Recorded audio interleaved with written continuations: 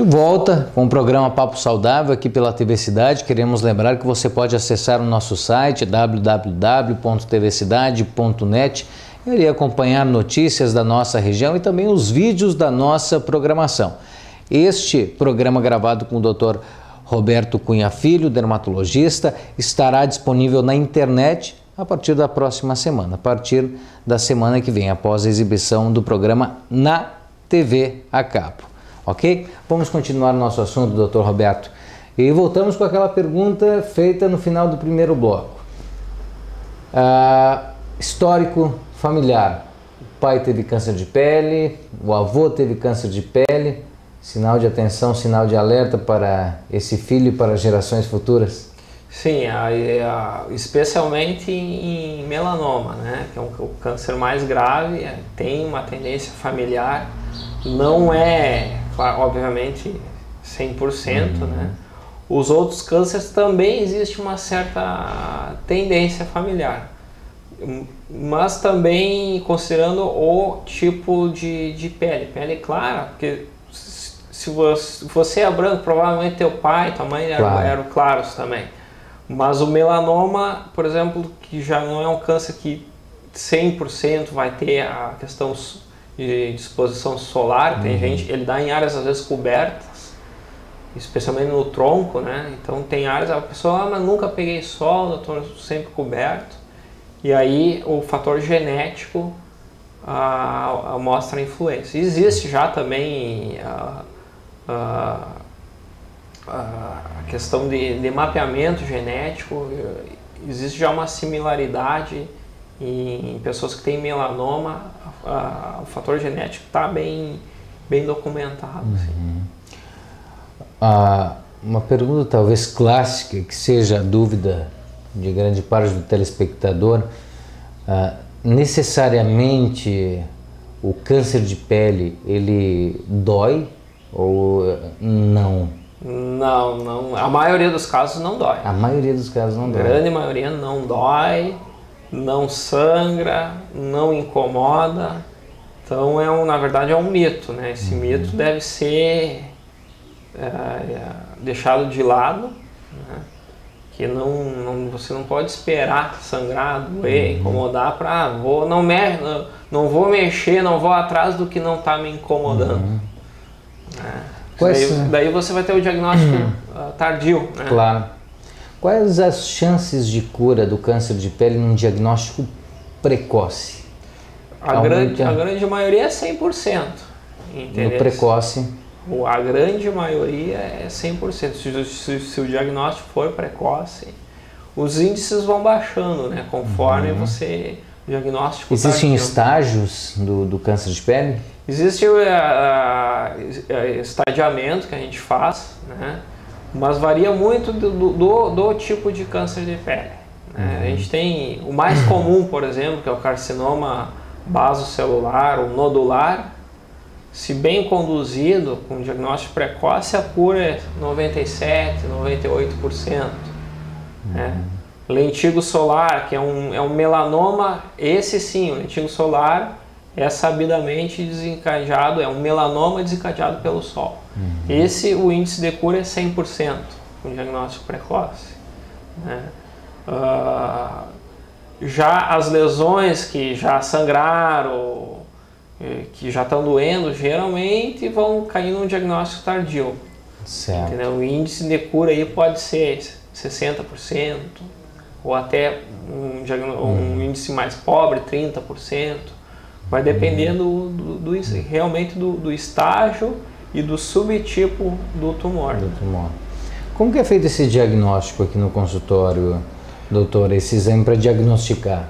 O diagnóstico, na grande maioria das vezes, é clínico. Né? Clínico. O olho treinado, você bota o olho, você já sabe, muitas vezes, se é um câncer de pele e você consegue, às vezes, dizer até o, o, o tipo de, de câncer, subtipo dele. Uhum. Né? E, mas todo o câncer de pele a gente uh, é retirado e é mandado analisar com exame anatopatológico. Um patologista, que é um médico treinado para todo o tecido que a gente retira e, e manda para análise, ele é um médico treinado para fazer esse tipo de diagnóstico. também é um, daí é um diagnóstico ainda mais detalhado, mais preciso. Existe também um exame chamado dermatoscopia, que é uma lupa, na verdade. Uhum.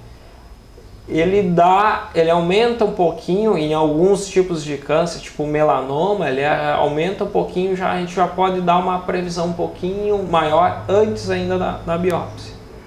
Né? Mas o exame definitivo, na verdade, é a, a biópsia através do exame anatopatológico. O tratamento, no caso para o câncer de pele, ele vai de quê? De, de, medicamentos dermatológicos até quimioterapia? Como que funciona isso? A grande maioria é cirúrgico. Cirúrgico? Cirúrgico, você faz cirurgia. A grande Retirada maioria. do... Exatamente, a grande maioria é cirúrgico. Quimioterapia é, é, é exceção dentro da, do, do câncer é exceção. de pele. É importante isso.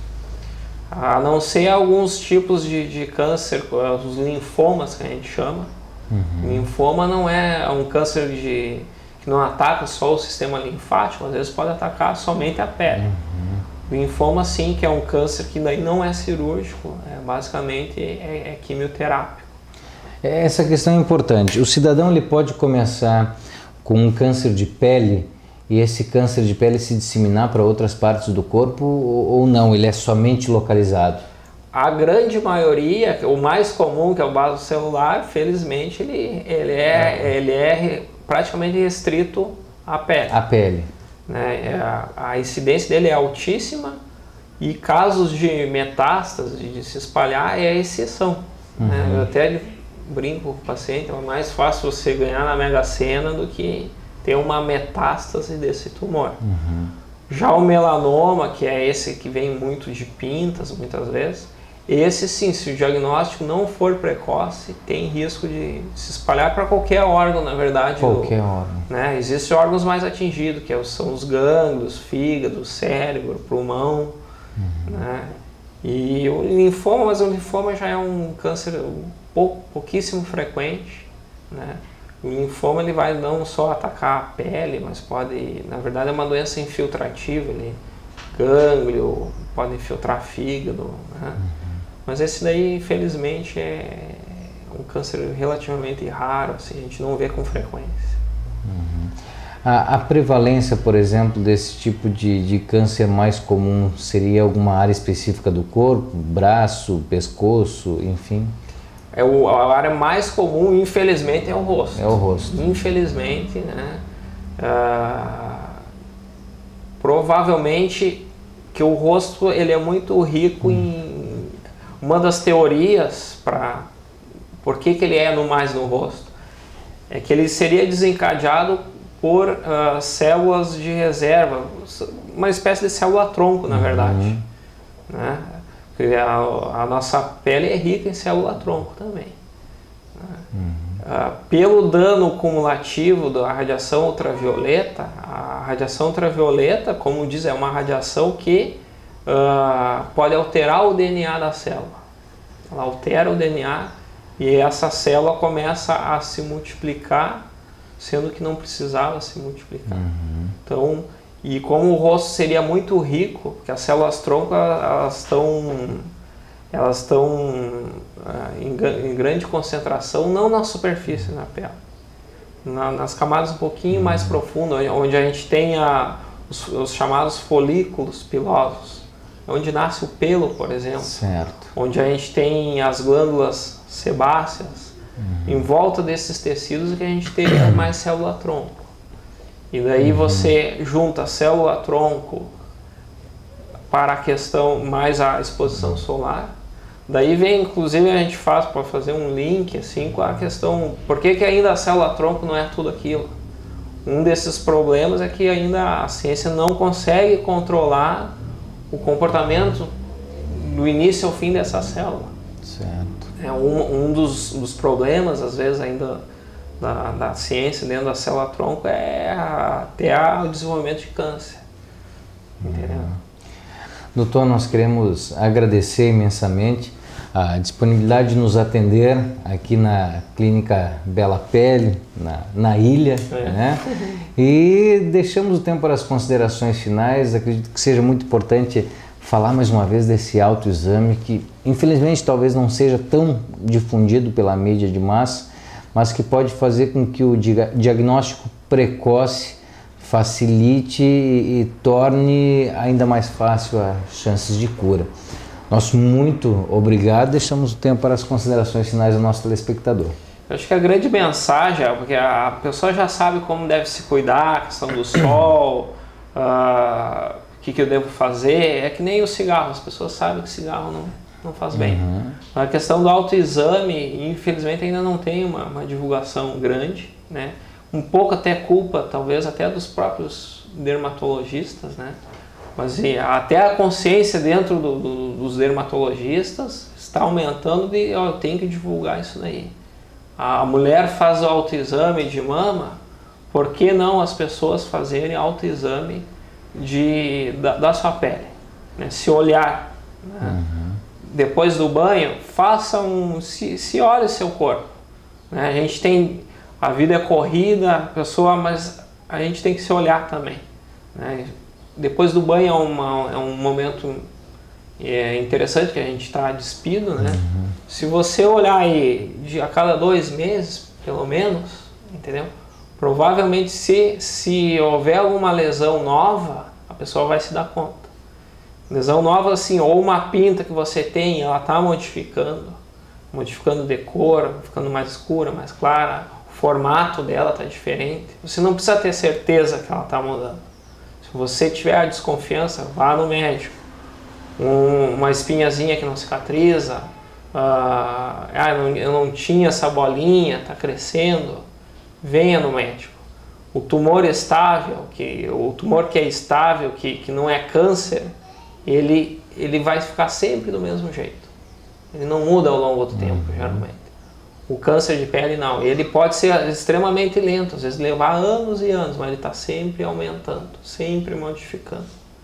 Então, lesões que se enquadrem nesse tipo de situação, vá no médico. Tá certo. Nosso muito obrigado, doutor. Obrigado também. Tá certo, nós agradecemos também imensamente a sua companhia, vocês que nos acompanham semanalmente. Muito obrigado pela confiança e também pela audiência. Acesse o nosso site www.tvcidade.net. Obrigado pela companhia. Voltamos na semana que vem, com certeza, com outro assunto interessante. Até lá!